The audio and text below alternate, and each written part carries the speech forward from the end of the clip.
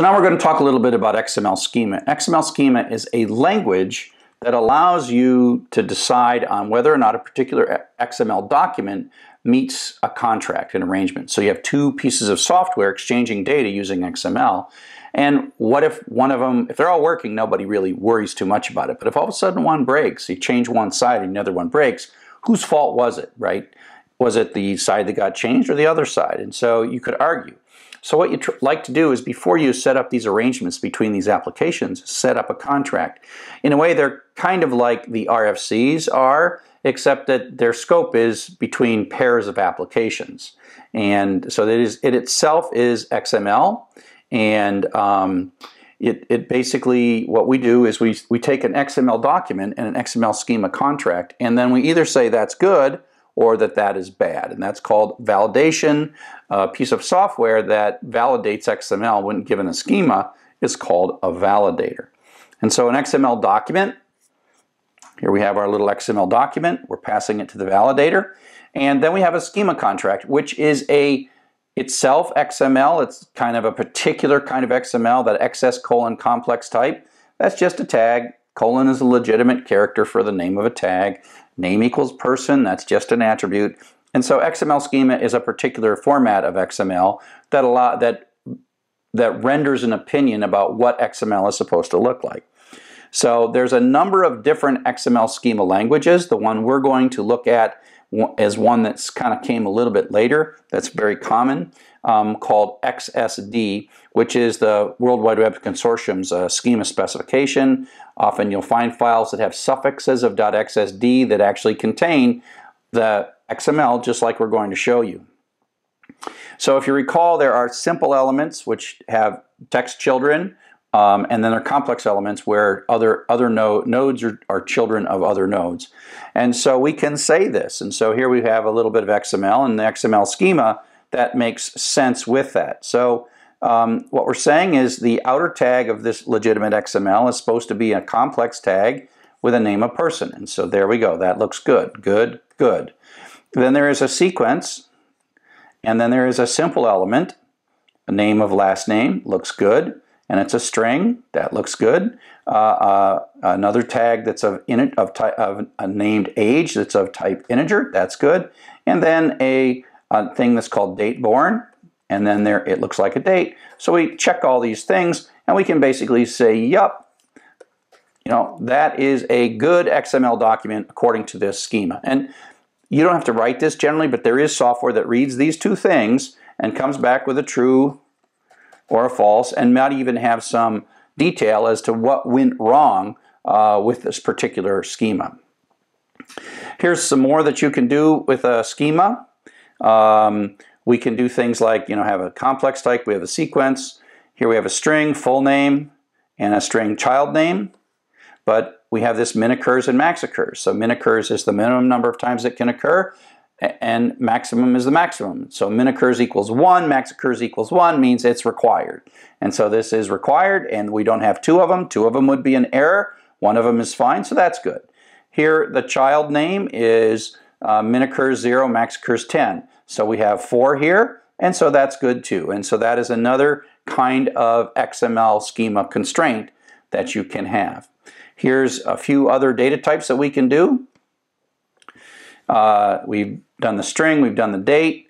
The date looks like this. Dates are uh, four-digit year, two-digit month, two-digit uh, day with dashes. Now there's lots of different ways to represent dates, but the nice thing about this, and you don't, you have to put the zeros in, so 09 for September.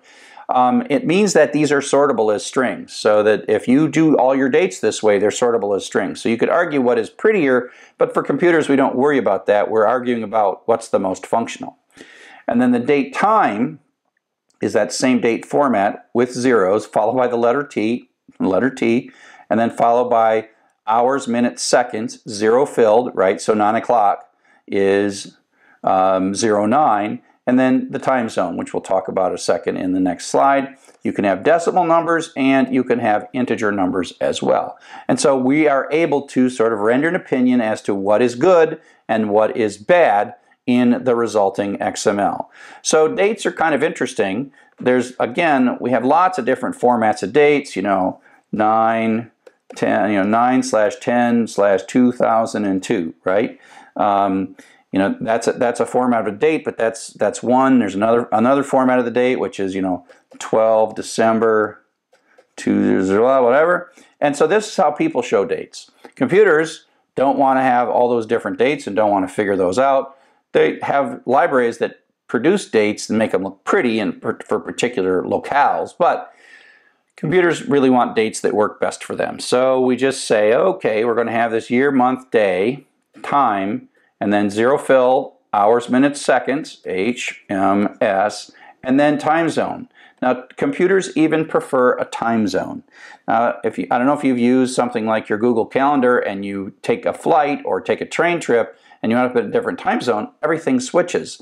And that's because Google Calendar is not really storing the time zone that you're, it's store, not storing the dates relative in your current time zone, it's storing them in what we call universal time or Greenwich Mean Time. Zulu time is another word for that. And Z means this time that is the time in you know London, England, Greenwich Mean Time. Um, and so the thing is, is that that means if this data moves between time zones or crosses the international date line or standard daylight savings time or anything like that, none of that changes. And so, so we have this internal date and time that's very common in situations where computers are exchanging data that then gets shown with a time zone, converted to the time zone or the local format, that's the right way to do that. And there's a standard for how dates and times are supposed to look. So here's another little example of uh, some, some stuff. Let's see what we got. Now, if you see this little question mark XML, that's not a problem. That just is a way of sort of putting a header on the whole document that says it's an XML document, telling it that it's a UTF-8 document. Um, and that, that, that's not really a tag, that's sort of like a marker on the file, so that you can put that there, but it doesn't harm the XML. The outer tag is this tag right here, XS colon schema. And then um, what else we got? We got an address, we've got a string, string, string, string, string. We've seen all those. Um, here we have country, and we're going to have a restriction that basically says this is a simple string, but we're going to make it so that you have to list one of these four as the country code. And so here we are down here, and that's UK, and that's UK, and so that is uh, valid XML. Another couple of examples here. Uh, let's see, uh, string, string, string, string, string. Uh, max curs unbounded, that means infinite number. There's no limit on the number. You can do that. Uh, occurs of zero. XS positive integer, we've, we've seen integer, but you can also say it's got to be a positive integer. Uh, decimal, we've seen that. And then use equals required is just another statement that you can make. I'm not trying to get you uh, to the point where you can do XML schema, just get you a sense of the kinds of statements that we can uh, speak about when we're talking about what is and is not legitimate XML. So let's talk a little bit about how we might talk XML inside Python. And so, like most things that are in this extended part of Python, we have to import something. And so this is the name of a library, XML etree element tree. And then as ET, this ends up being a shortcut. So we don't have to type these long things. And so ET is the same as typing that. It's almost like a macro. Now, normally this XML is going to come somewhere from the network, but I'm just going to put this in a string. I'm using a triple quoted string, and so that means that this triple quoted string starts here and ends here, and all these new lines that are here are actually part of the string. So this is kind of like I opened a file and read the whole thing in. But just to keep this totally self-contained, I'm putting it in a string. So the XML would come from some server on the other side of the network, we would get this XML. So that's, that's how it would normally work, okay? So this is the XML right there. And we parse a string of data and we call et from string. So we're passing in the less thans, the new lines, the greater thans, all of this stuff we're passing it in. And this could have syntax errors in it. So this might blow up if this had a syntax error, like we forgot the little slash or something, there was a syntax error. But this doesn't have a syntax error. So then what we do is we get back an object. I just happen to call it tree because it kind of is like that tree version of the XML. That is an object that we can then query to pull data out of it. So we say tree.find and look for a tag name name. So that finds the tag name name is this. It's, it's everything. It's the tag and the text. If we want the text, we add dot text, and then that dot text, that dot text, that actually refines it to only the word Chuck. And similarly, if we do tree.find email, that tree.find email, that finds the email tag, which is this tag. It has a child attribute, and you can get any of the attributes. You say dot .get. There's only one text child, but there are many uh, attribute children, and so you have to tell it which one you want. And so this uh, this this here, this bit right here, all of that will reserve will resolve down to that string yes. That's what you're going to get there. Yes. And so you you kind of build up these little finds and call methods. This is not a clearly a full uh, introduction to element tree, but you get the idea that you sort of dive down in with these methods that call methods that call methods to get little pieces out and parse all of that. Here is a different example. In this one, again, we're using triple quoted string. We always have a single tag on the outside, and then I have a complex type of users, and in it there are two user objects. So this is kind of like a list, right? So this is more than one of these things. So this user can occur more than one time. Um, and again, we take this, we pass that into from string and get back an object that represents the name stuff does not necessarily have to uh, be the same as this outer tag. Uh, just a variable. This could, could just as be easily as x if I wanted. And so now what I'm going to say is, hey, hey stuff, I want to find the tag, the path, users slash user. I want to find all tags that match users slash user. So that's going to give me a list of two tags, one tag, two tags in a list. Tag, tag. Oops. So two tags.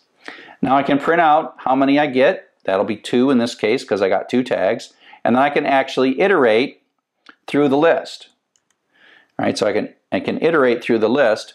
So this item is going to iterate first to this tag, and that tag now it's like it's like in the previous example, we can look for the name tag within there and pull the text out. So we pull that text out, find the name tag, find the name tag, and then within that find the text. And we can find the uh, ID tag and pull the text of that out. So that pulls out this 001 and um, I've scribbled too much. And then we can item, which is, this is item, is that whole tag, dot get x. So that gets the attribute, that gets the 2. That 2 comes down here. Okay, and then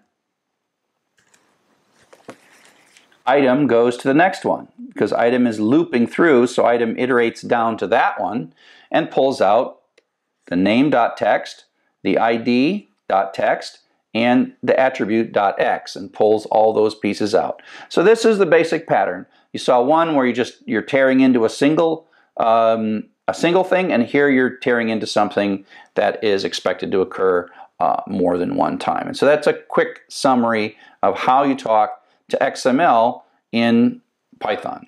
Up next, we're going to talk about the other serialization format, JavaScript Object Notation.